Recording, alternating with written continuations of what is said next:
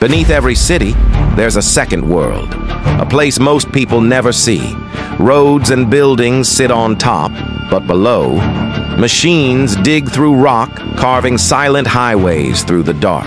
To build a tunnel, engineers must fight the pressure of the earth itself.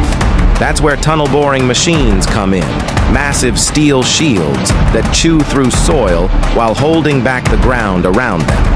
Every meter forward is a battle between gravity, pressure, and precision.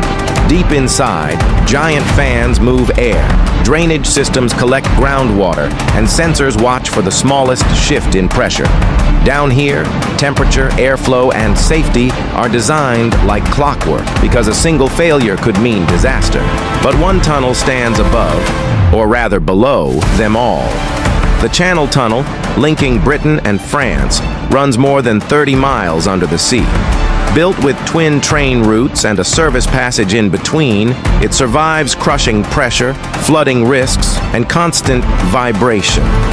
All balanced by engineering so precise, it still runs every day. From Europe to Japan, and beneath mountains and seas, tunnels are proof that humanity doesn't just build up, we build through. There's more hidden tech to uncover. Subscribe, like, and comment the next secret you want to hear.